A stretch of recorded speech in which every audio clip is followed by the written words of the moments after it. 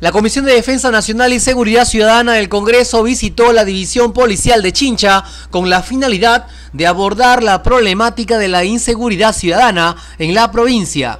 Según informó el titular de ese grupo, el congresista Fernando Andrade Carmona, contando con la activa participación de las autoridades policiales encargadas de la lucha contra la delincuencia y la población en general. Soy el presidente de la Comisión de Seguridad Ciudadana y estamos visitando aquí en Ica las diversas comisarías para ver las inquietudes que tienen los comisarios y los encargados de seguridad ciudadana y viendo pues por ejemplo qué nivel de patrulleros inteligentes tiene no, no, tiene ninguno. ¿Qué nivel de cámara de videovigilancia? Ninguna. Esas son las inquietudes o también que inaugurado este, carros de serenazgo y cuántos están circulando. ¿no? Esas, esas inquietudes de la población y de los comisarios estamos recogiendo para de esa forma pues, eh, apoyar a la población en lo que es lo más importante, la seguridad.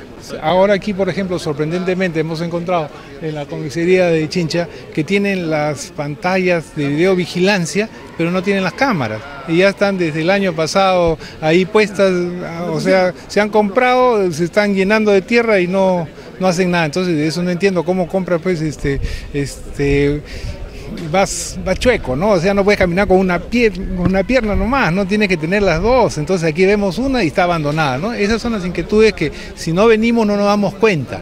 Y por eso es que estamos visitando para detectar eh, aquí en la ciudad este, qué es lo que está pasando compra, se compra una mototaxi y no tienen las ruedas. Así es, ¿cómo, puede ser? Eh, es rarísimo, ¿no? O también me dicen que, tienen eh, carros que se han inaugurado de serenazgo y que están ahí guardados, ¿no? Entonces este, eso es lo que queremos seguir viendo.